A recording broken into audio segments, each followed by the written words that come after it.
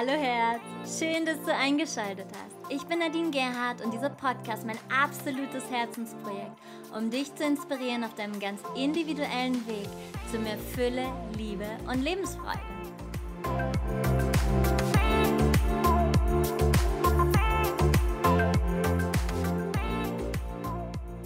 Hallo Lieblingsmensch, hallo, ich grüße dich und ja, du hast mich wahrscheinlich heute Morgen vermisst, denn ich bin ein bisschen spät dran. Ich habe gestern und vorgestern ein Retreat gehabt, was sehr, sehr intensiv und erfüllend und wundervoll war. Aber als ich den Podcast aufnehmen wollte, bin ich klangheimlich auf der Couch eingeschlafen. Heute Montag ging es direkt weiter mit Coachings, die ich gegeben habe. Und ähm, dementsprechend jetzt noch ein wunderschönes Herbstanfangs-Special online. Ich bin total gefüllt, wenn es auch mega spät ist. Aber ich möchte dir den Podcast heute noch aufnehmen, denn es geht um Eigenverantwortung. und ähm, ja, ein super, super wichtiges Thema. Und warum heißt der Titel Freiheit durch Eigenverantwortung? Eigenverantwortung ist ja in unseren Assoziation häufig ziemlich negativ besetzt, doch wir dürfen verstehen, dass Eigenverantwortung uns frei werden lässt, weil sie uns aus der Opferrolle befreit. Und das ist so wichtig zu verstehen. Und ich wiederhole nochmal, wir dürfen verstehen, dass Eigenverantwortung uns frei werden lässt, weil sie uns aus der Opferrolle befreit. Und ja, ähm, was soll ich dazu noch mehr sagen? Die, allein dieser Satz sagt schon so, so viel aus. Wir möchten ja in unsere Schöpferkraft kommen, das, was wir mitgebracht haben, hier wirklich in, ja, in unser Menschsein bringen. Und das geht nur über Eigenverantwortung. Eigenverantwortung bedeutet, dass du bereit bist, Verantwortung für dich zu übernehmen auf allen Ebenen. Auf der Ebene des Denkens, des Fühlens, des Handelns und des Tuns. Wenn du dem konsequent folgst, dem Gedanken der Eigenverantwortung, dann löst du dich mehr und mehr aus einer Opferhaltung heraus. Und du kennst das Thema mit der gegenseitigen Schuldzuweisung.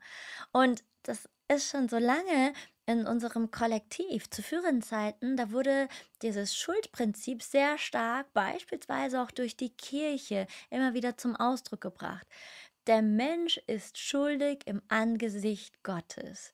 Oder je nachdem, welcher Kirche du gefolgt bist, bist du schon mit, schon mit Schuld geboren. Ja, jetzt hat sich oder jetzt haben wir uns als Menschen aus diesem Dogma herausbefreit. Und was tun wir? Wir beschuldigen uns gegenseitig und kommen auch nicht aus diesem Dilemma damit raus. Und das können wir auf jegliche Themen, können wir Einblick nehmen. Nehmen wir das Thema mit dem Virus. Wir beschweren uns beim anderen, dass er uns ansteckt. Das ist keine Eigenverantwortung.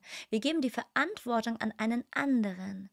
Es ist der Freund, der uns verrät, der Partner, der uns verlässt, die Mutter, die uns nicht gut genug genährt hat, der Vater, der nicht anwesend war. Das alles ist Ausdruck davon, dass wir die Verantwortung abgeben. Und Eigenverantwortung braucht immer Selbstreflexion. Wenn wir uns selbst reflektieren in unseren Bedürfnissen, aber auch in unserem Denken, also wie denke ich über mich und über meine Umwelt, in unserem Fühlen, weshalb fühle ich mich in dieser Situation gekränkt? Weshalb glaube ich, in dieser Situation Recht zu haben und der andere habe Unrecht? Diese Selbstreflexion braucht es, um Eigenverantwortung übernehmen zu können und auch das Hinterfragen bestimmter Vorstellungen. Du weißt vielleicht oder du hörst es auch immer wieder im Podcast, auf den Retreats, bei allem, was ich tue und was ich rausgebe, immer wieder dich dazu zu animieren, immer wieder zu fragen, zu hinterfragen. Was ist die Motivation hinter deiner Motivation? Was ist das Bedürfnis hinter dem Bedürfnis? Warum stehst du morgens auf? Warum gehst du zur Arbeit? Warum machst du dies? Und dieses zu hinterfragen, immer mehr noch an die Wurzel zu gehen. Was liegt dahinter? Weil meistens ist da nochmal was ganz anderes, was da mitschwingt. Also es braucht immer Selbstreflexion, um Eigenverantwortung übernehmen zu können und immer auch das Hinterfragen bestimmter Vorstellungen. Und dadurch kommen wir zur Eigenverantwortung. Und das ist eine Disziplin, die uns andererseits frei werden lässt. Und das mag jetzt vielleicht absolut erscheinen, denn wir versuchen uns ja von der Schuld, von der Verantwortung frei zu kaufen, in dem Maße, in dem wir sagen, ich kann nichts dafür. Doch würden wir dieses Schuldthema mehr verwandeln in ein Thema von Eigenverantwortung und Mitverantwortung, dann können wir tatsächlich die Welt verändern. Und nehmen wir mal das Thema mit dem Umweltschutz. Du kannst beobachten, dass Fahrradfahrer Autofahrer beschuldigen. Die Autofahrer beschuldigen die Industrie. Man beschuldigt die großen Kraftwerke und so weiter und so weiter. Also dieser Kreislauf endet im Endeffekt nie. Es gibt eine Schuldkette durch die Welt und in diesen Schuldzuweisungen wird unglaublich viel diskutiert. Doch die einzig richtige Frage, die es zu stellen gibt, wie können wir als Kollektiv weltweit dafür sorgen, dass unsere Umwelt entlastet wird? Und dann würde Eigenverantwortung bedeuten, dass der Einzelne entscheidet, wann nutze ich mein Auto, wann nutze ich mein Fahrrad, wie viel Individualität ist notwendig, wo kann ich mich mehr und mehr umweltgerecht verhalten. Aber auch, welches Denken ist denn hilfreich? Achtsamkeit zu entwickeln und sich gegenseitig zu unterstützen und nicht die Schuld zuweisen, Beispielsweise Müll zu reduzieren, Fahrwege zu reduzieren, beispielsweise Einkaufsgemeinschaften zu bilden.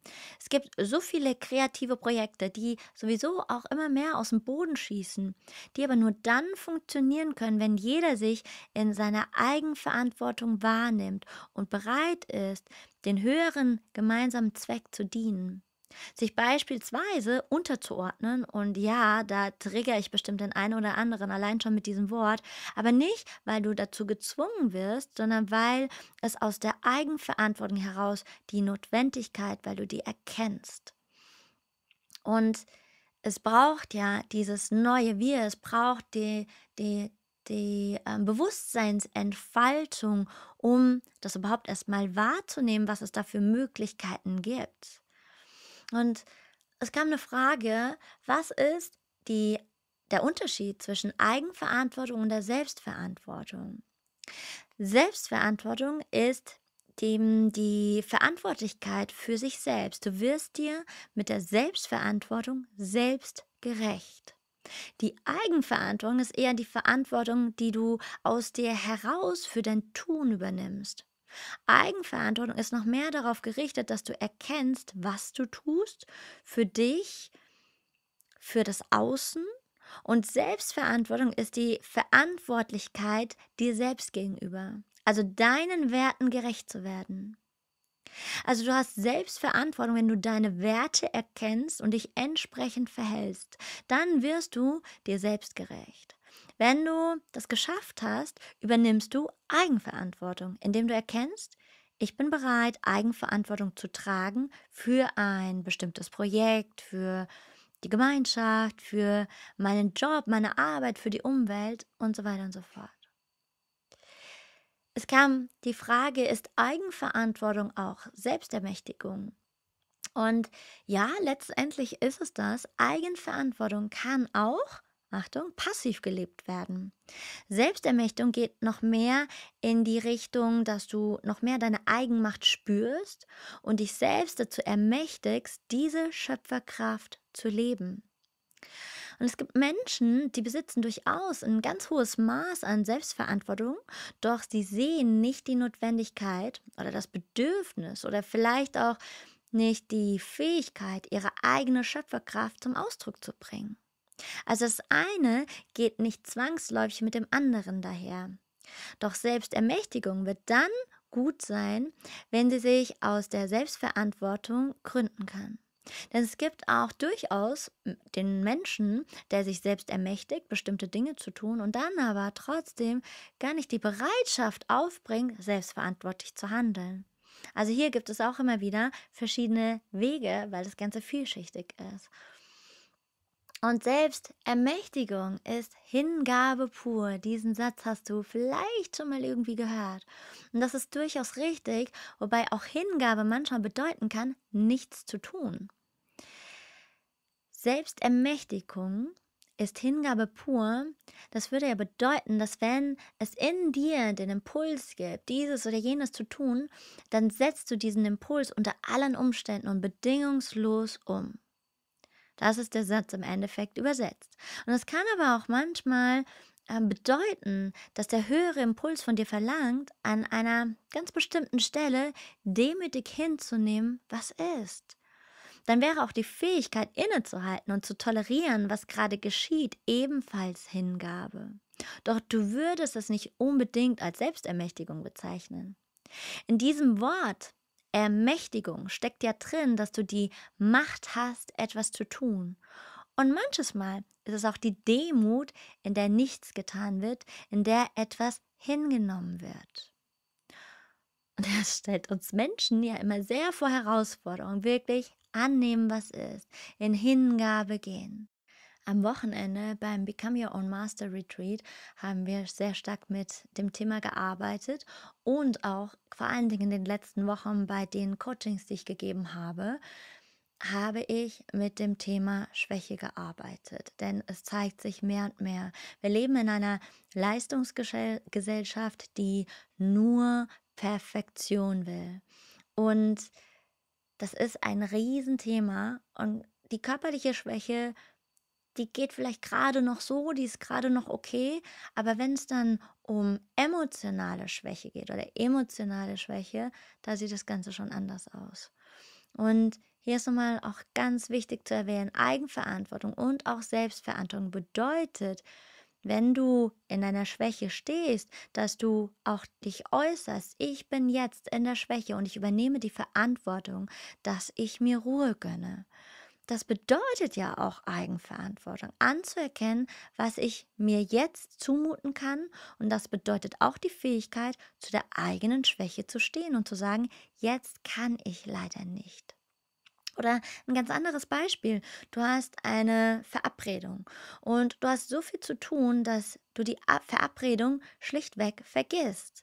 Und dann ist es Eigenverantwortung zu sagen, es tut mir leid, ich habe diese Verabredung vergessen. Also keine Ausreden dir einfallen zu lassen, sondern wahrhaftig zu sagen, ich habe diese Verabredung vergessen. Völlig egal, ob du vergessen hast, es dir zu notieren oder vergessen hast, den Wecker zu stellen oder, oder, oder. Ja, es ist nicht schön, dass der andere wartet oder die andere.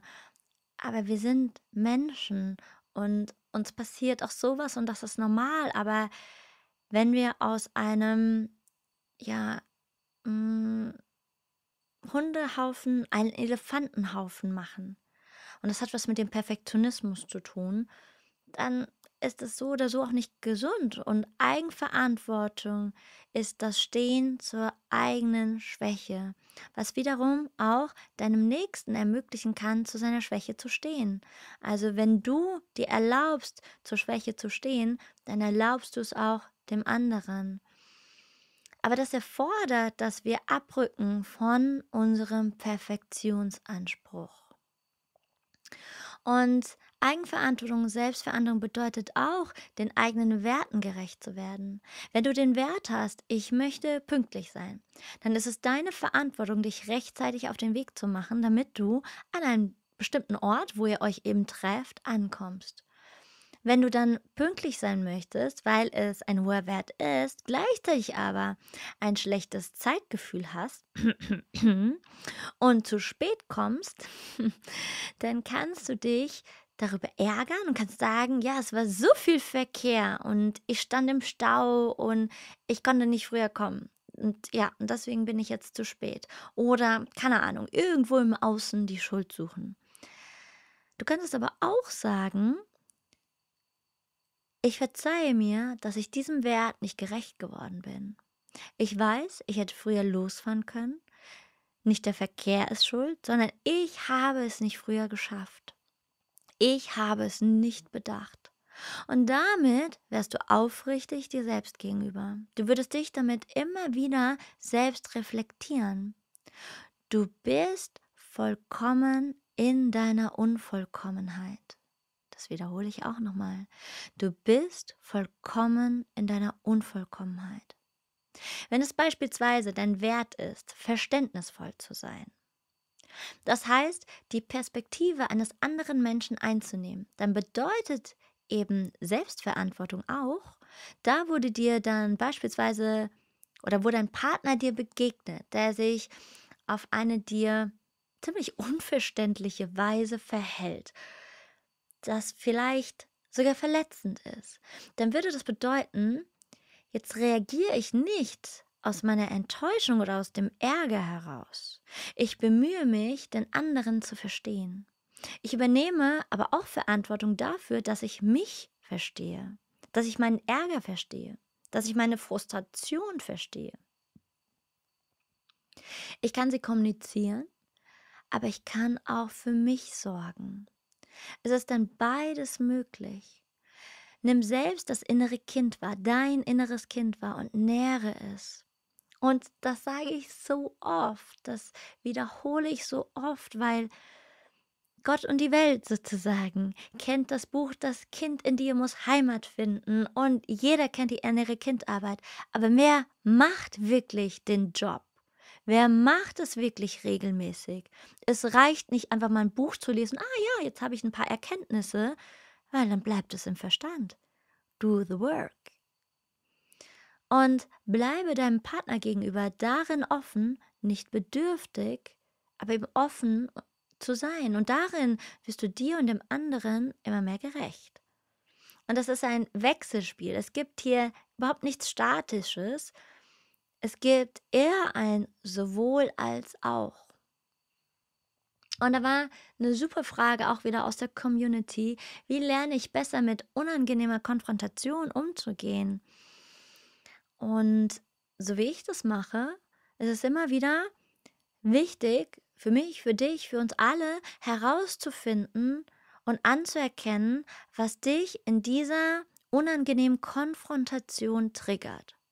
Es ist ganz wichtig, dass du reflektierst, was ist meine eigene Verletztheit darin? Oder wo fühle ich mich klein und gemaßregelt in dieser Konfrontation? Also es gilt herauszufinden, was ist das Unangenehme an dieser unangenehmen Konfrontation? Und dann zu fragen, gibt es darin zum Beispiel etwas zu heilen oder etwas zu schützen? Ich nehme ein Beispiel mit rein. Es kann sein, dass du einen Vorgesetzten oder einen Arbeitskollegen hast, der in seiner Art und Weise ständig fordernd an dich herantritt. Und er macht es vielleicht sogar noch mit einer gewissen Überheblichkeit. Und jetzt begegnest du ihm auf dem Flur und du spürst schon, wie in deinem Bauch das Krummeln beginnt, wie du schon in Halb-Acht-Stellung gerätst. Und Du fragst dich, was will der jetzt schon wieder von mir fordern in seiner abwertenden Art?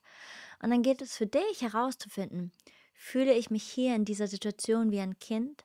Erinnert mich die Situation an eine Erfahrung mit zum Beispiel meinem Vater oder meinem Lehrer? Oder, oder, oder. Und dann für sich selbst in die Stärke zu kommen, das ist hier dann dein neuer Weg. Ich bin ein erwachsener Mensch. Ich leiste meine Arbeit so gut ich sie kann und ich bin gerne bereit, auf Augenhöhe selbstverständlich über Optimierung nachzudenken. Doch ich begegne diesem anderen nicht wie ein Kind und darin schon diesen inneren Punkt zu nähren und zu stärken. Du kannst in einer energetischen Übung zum Beispiel eine Schutzhaltung programmieren, indem du dir eine Hand auf deinen Bauch legst und gleichzeitig in der Affirmation stehst, ich ruhe in mir. Ich entscheide, was ich fühlen will in diesem Moment. Also ich ruhe in mir und ich entscheide, was ich fühlen will in diesem Moment. Und dann kannst du dieser Person begegnen.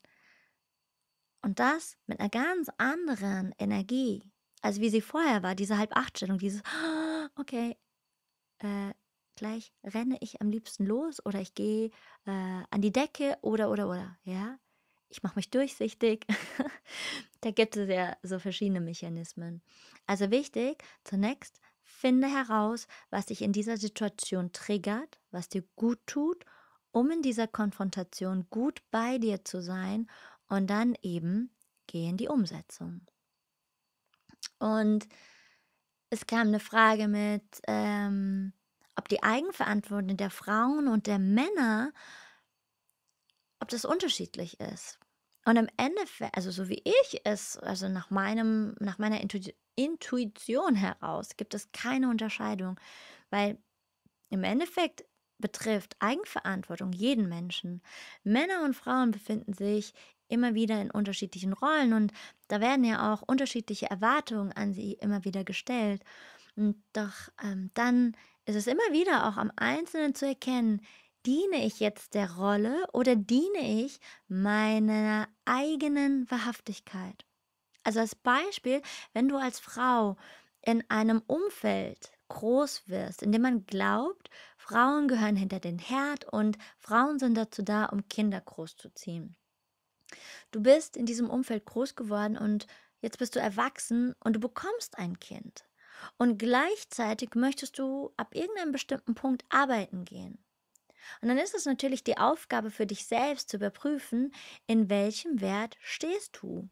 Hast du das Rollenverständnis deiner Vorfahren übernommen?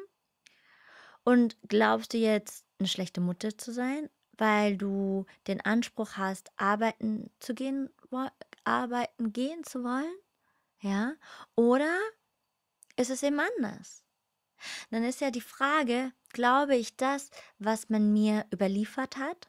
Oder ist es meine Überzeugung, dass ich mein Kind aus ganzem Herzen liebe und alles geben möchte für dieses Kind und gleichzeitig mir selbst gerecht werden will, indem ich arbeiten gehen will? Und dann das richtige Maß zu finden. Und das kann Männer wie Frauen unterschiedlich betreffen, doch die Lösung darin ist immer die gleiche. Wir stecken mitten in einem Wertewandel. Doch Wertewandel findet ständig statt, stetig statt. Doch wir leben ja jetzt in einer Zeit der Schwingungserhöhung und in einer Umbruchzeit. Und dadurch geschieht alles schneller. Das, was sich zuvor in einer Langsamkeit abgespielt hat, das haben wir als Menschen gar nicht so realisiert oder nicht realisieren können, weil es sich über mehrere Generationen abgespielt hat. Und jetzt sind wir in einem beschleunigten Zeitalter und dadurch geht alles schneller. Das ist ein ganz natürlicher Rhythmus. Und wir gehen diesen Weg in eine andere Dimension und damit in eine andere Bewusstseinsebene. Das ist unser Weg gerade. Und das ist wie ein Endspurt. Und es ist wie das Erhöhen der Energie, damit der Sprung geschafft werden kann. Und das ist Dynamik, die natürlicherweise einsetzt. Es ist also nichts künstlich Erzeugtes. Auch wenn wir manchmal glauben, irgendwie da draußen ist gerade eine Freakshow und ich bin gerade in einem Hollywood-Film. das äh, gehört zu, das ist Teil dessen, weil die alte Welt sich verabschiedet und die neue Welt sich immer wieder zeigt. Und im Endeffekt gab es diese großen Zyklen immer schon, in denen Systeme zum Umbruch gekommen sind. Und wenn Systeme in den Umbruch gehen, dann wird ja dadurch erst ein anderes Gedankengut möglich. Das heißt, es braucht immer wieder. Wenn wir jetzt zurückgehen mal in die Geschichte hinein, der letzte große Umbruch war vor ungefähr 2000 Jahren, als wir ja in einem großen Wandel standen von einem alten Gesetz weg zu einem neuen Gesetz. Und dennoch sind wir auch da damals durch ein dunkles Zeitalter gegangen, bis der Mensch immer mehr und mehr diesen neuen Geist verstehen konnte umsetzen konnte, fühlen konnte. Doch das schwingt ja niemals in Perfektion. Hier kannst du erkennen. Natürlich, Mm, wie sage ich es? Das alte Gesetz von Karma, also Ursache und Wirkung, wirkt nach wie vor weiter. Es ist nicht so, dass das Alte völlig außer Kraft gesetzt wird, sondern es wird angepasst an ein neues Bewusstsein. Wir haben ja aus den alten Kulturen gelernt, Auge um Auge und Zahn um Zahn. Das ist das Alte Testament. Das Gesetz von Ursache und Wirkung. Darin gab es kein Mitleid und kein Erbarmen in diesem neuen Bewusstsein. Und das ist ein Bewusstsein, in das wir gerade hineinwachsen, was seine Zeit und seine Entwicklung braucht. In diesem neuen Bewusstsein, das Mitgefühl, wird deutlich, dass der Mensch, also wir aufgefordert werden zu mehr Eigenverantwortung und zu einer vergebenden Haltung, zu einem Erkennen, dass in der Vergebung immer auch Erlösung geschieht, dass dann diese Quantensprünge überhaupt erst möglich sind, dass Befreiung aus diesem Spiel Auge um Auge und Zahn um Zahn wie ein Quantensprung möglich wird. Und du kannst in eine andere Energieform wechseln durch die Vergebung. Und das bedeutet, dass wir ein Stück weit mehr in die Eigenmacht kommen, weil wir anerkennen, ich kann entscheiden, ob ich in die Vergebung gehe oder nicht. Das ist Eigenmacht. Du bestimmst. Nicht, ist völlig egal, was der andere gemacht hat. Das musst du nicht gutheißen, das brauchst du nicht gutheißen. Aber mit der Vergebung erlöst du dich. Ich kann das Spiel Auge um Auge und Zahn um Zahn erlösen. Jesus, und für die, die mich kennen, wissen mehr oder weniger, dass ich ja Jesus als ganz großes Vorbild habe. Jesus war für uns in unserer Welt und es gab andere Propheten auch in anderen Kulturen, der gesagt hat, wenn dir einer auf die rechte Hand schlägt, oder war es die rechte Backe? halt die rechte Backe, die rechte Wange war das, die rechte Wange. Wenn dir jemand auf die rechte Wange schlägt, halte auch die linke hin um auszudrücken, also übersetzt bedeutet das, steige aus aus dem Spiel. Wir sind darin in unserer Kultur gewissermaßen gereift. Wir haben ein größeres Verständnis erworben und suchen darin unterschiedliche Modelle, wie dieses Verständnis gelebt werden kann. Jetzt stehen wir wieder an einem Bewusstseinswandel, der uns noch mehr darin führen will, dass wir uns als Teil, als individuelles Teil einer größeren Gemeinschaft verstehen und erkennen dürfen, welche Verantwortung wir auch darin für die Gemeinschaft tragen. Welche Verantwortung trägst du für die Gemeinschaft? Es ist also ein Erweitern von einem Ich, das ja, wie soll ich sagen, vorher wie ein geknechtetes Ich war. Und wir verwandeln uns mehr und mehr zu einem erwachsenen Ich. Mehr noch zu einem selbstbewussten, selbst- und bewussten Ich, das sich tatsächlich als Teil der Gemeinschaft erkennt. Tatsächlich. Und das ist der Prozess, in dem wir jetzt gerade stehen. Und wenn ich dir drei Short-Tipps nennen darf, wie du mehr noch in die Eigenverantwortung kommst, ist Nummer eins Achtsamkeit, Nummer zwei Selbstreflexion, Nummer drei Mut. Es braucht die Achtsamkeit, innezuhalten, sich selbst zu reflektieren und den Mut, all das, was du dann findest, dann auch zu leben. Oh my goodness, jetzt haben wir schon Dienstag. Eieiei, doch kein Montagspodcast diese Woche. Aber wie ich ja schon gesagt habe, wir sind vollkommen in unserer Unvollkommenheit. Die nächste Woche erwartet dich ein wundervolles Interview. Die nächsten drei Podcasts in dem Fall werden alles Interviews mit ganz, ganz tollen Interviewpartnern, wo ich teilweise Monate schon darauf hingefiebert habe auf diesen Termin. Und es geht ja ganz viel um das Thema Energie in den verschiedenen Formen und Ausdrucksformen. Und ja, ich freue mich, wenn du mich auch online begleitest, denn ja, ich muss jetzt mal überlegen. Am Samstag ist Online-Aufstellungstag, ist Familienstellen. Und ja, wann immer dich ein Thema beschäftigt, wo du nicht weiterkommst, kann ich dir von Herzen Aufstellung empfehlen. Es ist eines der allergrößten Geschenke, die ich in meinem Leben erfahren durfte und die ich jetzt weitergebe, weil ähm, damit konnte ich ja sehr viel in Heilung bringen, sehr viel in die Transformation bringen. Und du äh, musst gar nicht selbst ein Thema aufstellen. Du kannst auch als Stellvertreterin dabei sein oder einfach als Beobachterin und ja, einmal schauen, denn auch wenn du gar nicht dein eigenes Thema aufstellst, sondern als Stellvertreterin in deiner Aufstellung drin bist, berührt es auch immer dein eigenes Thema. Und es ist ja ein Geschenk für für uns Menschen hier auf Mutter Erde. Das kann ich immer wieder betonen.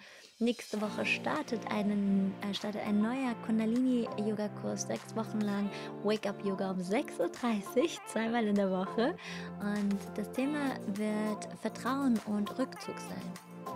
Dann gibt es das Coaching Café im November, ein vierwöchiger Live-Kurs. Mir ist es ja auch immer sehr wichtig, eben ähm, immer wieder auch Live-Sachen anzubieten, weil es eine ganz andere Nummer, als wenn es aufgenommen ist. Nicht, dass ich es abwerte, nicht, dass das nicht bei mir kommen wird, aber diese Live-Sachen sind mir einfach super wichtig. Und ähm, dann stehen die Rauhnächte an. Die sind jetzt online und ihr habt auch schon, die ersten haben schon gebucht. Und ja, die Rauhnächte, ich bin so gespannt, wie sich die Gruppe hier auch wieder zusammenfügt. Du weißt, es gibt keine Zufälle, Gruppen finden sich niemals zufällig und äh, bin mega, mega gespannt, wie die Gruppe sich in diesem Jahr zusammenfindet. Letztes Jahr waren wir auch eine größere Gruppe und es war so intensiv, es war so berührend, es war so schön, es war so bewegend und ja, es ist diese ganz besondere Zeit und auch wenn wir das in Gemeinschaft verbringen können, die Möglichkeit haben, ich freue mich sehr drauf und wenn du dabei sein möchtest, check einfach meine Website www.nadinegerhard aus und du wirst einiges noch finden. Wenn das Become Your Own Master Retreat nochmal stattfinden wird im November, auch das lasse ich dich in jedem Fall wissen. Denn ja, wir nutzen natürlich auch die Möglichkeiten, uns live zu sehen, noch, noch viel besser. Und ja, hm, danke, danke, danke auch nochmal für die Spenden, die eingegangen sind jetzt in den letzten zwei Wochen. Ich freue mich wirklich, wirklich sehr darüber, denn ich wertschätze deine Wertschätzung und ja, Danke für dein Sein, danke fürs Zuhören, danke, dass du das, was du hier erfahren hast, in die Welt hinausträgst und teilst und mit einem offenen Herzen deinem, ja, deinem Umfeld und der Welt begegnest. Namaste und Sitnam, deine Nadine.